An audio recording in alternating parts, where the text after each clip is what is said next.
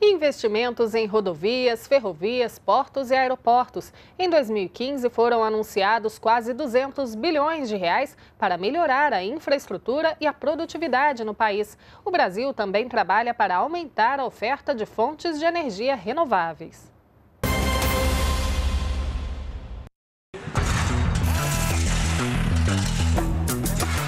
Mais trilhos, estradas duplicadas, carga movimentada em portos e voos.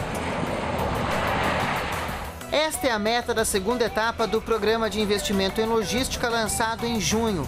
São 198 bilhões e 400 milhões de reais em investimentos que vão aumentar a produtividade do país. É com o aumento da produtividade que nós vamos poder sustentar um crescimento mais acelerado da economia, com estabilidade fiscal e com controle da inflação. Com mais produtividade, os trabalhadores vão poder ter salários maiores sem pressionar a inflação.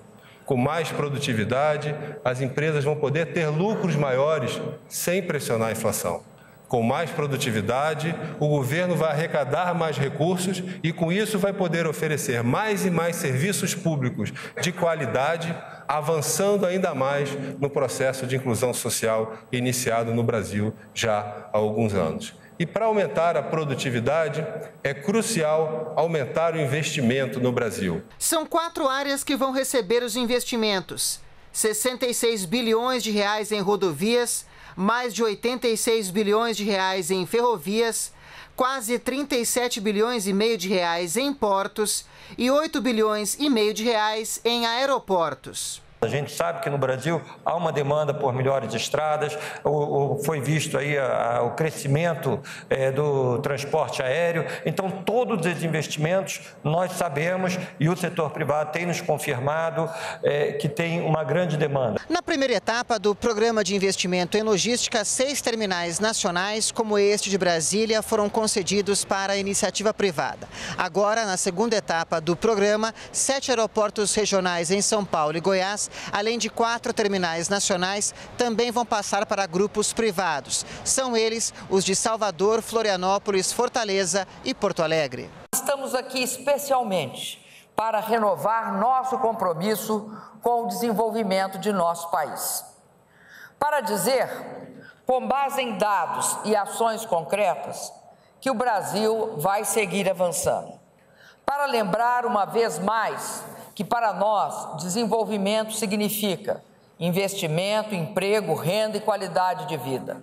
Significa capacidade de crescer, trabalhar e produzir. Outra iniciativa lançada pelo governo federal em agosto foi o Programa de Investimentos em Energia Elétrica. Até 2018, vão ser investidos 116 bilhões de reais em geração de energia a partir de obras contratadas por meio de leilões e 70 bilhões de reais em linhas de transmissão. O programa prevê ainda o aumento de fontes renováveis na matriz energética do país.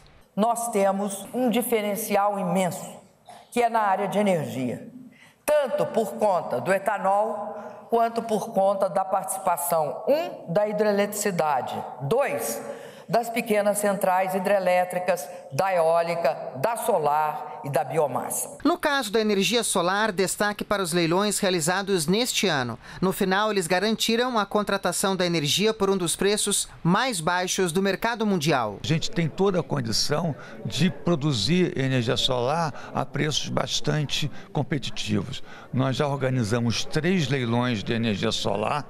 É, nesses leilões houve um interesse muito grande do capital privado. Nós tivemos mais de 600 projetos que se inscreveram para participar do leilão e graças a isso a gente teve uma grande competição e se contratou energia solar a um dos menores preços do mundo. A produção de petróleo na camada pré-sal, localizada a mais de 7 mil metros de profundidade no fundo do mar, bateu recorde. Em agosto, a produção diária alcançou quase 2 milhões e 900 mil barris de petróleo e 30% desse volume foi extraído do pré-sal. Também foram leiloadas em novembro 29 usinas hidrelétricas em cinco estados: São Paulo, Paraná, Santa Catarina, Goiás e Minas Gerais. já construídas produzem 6 mil megawatts de energia, o que corresponde ao consumo de 35 milhões de residências no país.